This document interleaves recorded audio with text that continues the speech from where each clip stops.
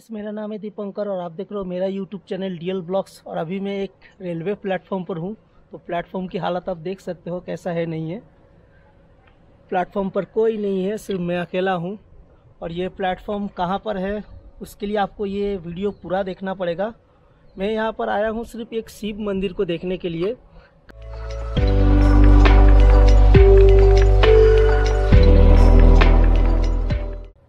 Station तो आप देख ही सकते हो क्या है। खार बाप स्टेशन का नाम है कुछ।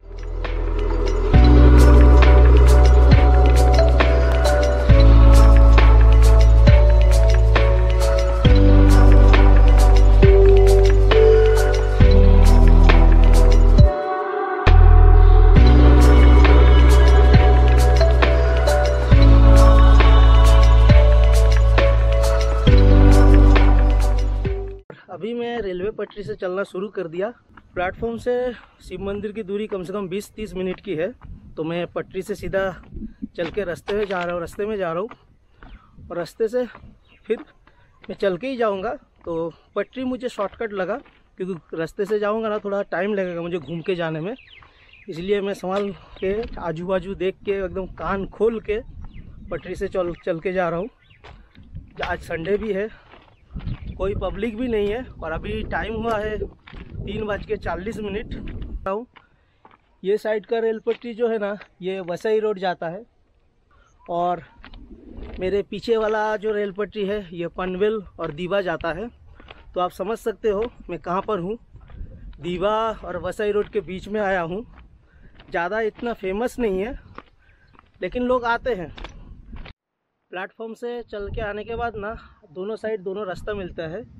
एक ये साइड रास्ता है और ये जो खम्बा दिख रहा है, वो खंबे के पीछे से एक रास्ता है तो आपको दाएँ तरफ़ नहीं जाना है। यहाँ से आपको नीचे जाना है। तो अभी मैं यहाँ से ही नीचे जा रहा हूँ।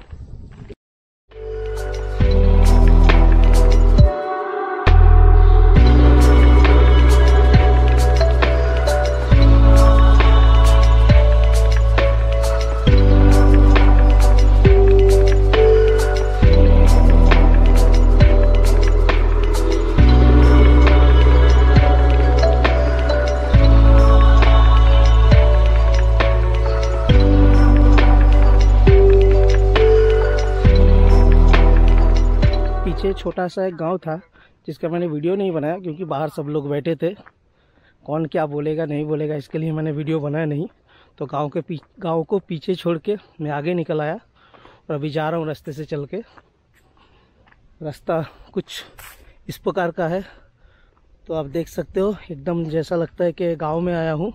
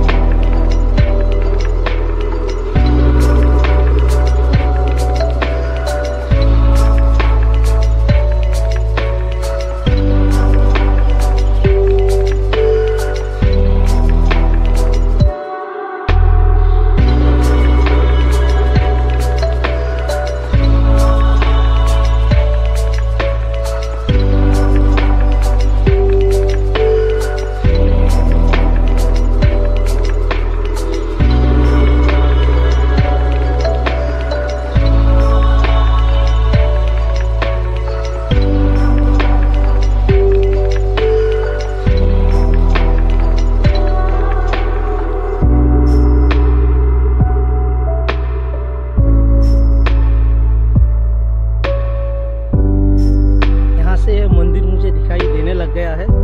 आपको दिखाता हूँ, बस व्यू कैसा है, एक बार देखो। उसके बाद मैं आगे जाके आपको अच्छी तरह से दिखाऊँगा। अगर मंदिर का गेट खुला रहेगा तो तो मंदिर के अंदर भी हम जाएँगे। वो आप देख सकते हो, वही है मंदिर।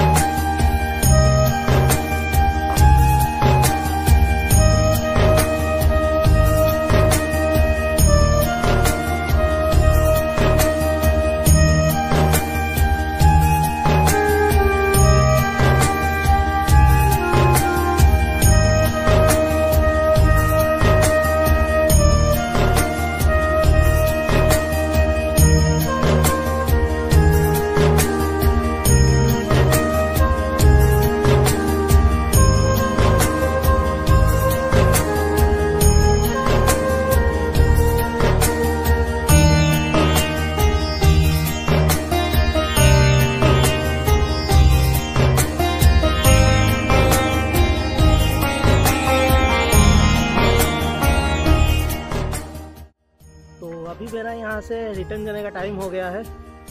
तो वीडियो अच्छा लगा तो लाइक करना शेयर करना और मेरे चैनल को सब्सक्राइब करना और पूरा डिटेल्स आपको मिल गया होगा कि कहाँ पर आया हूँ, किस जगह पर आया हूँ और मैं डिस्क्रिप्शन तो गूगल मैप का लोकेशन डाल दूँगा तो वो भी आप एक बार चेकआउट कर लेना तो आपको प्रॉपर पता चल जाएगा कहाँ पर आया हूँ, नहीं आया हूँ।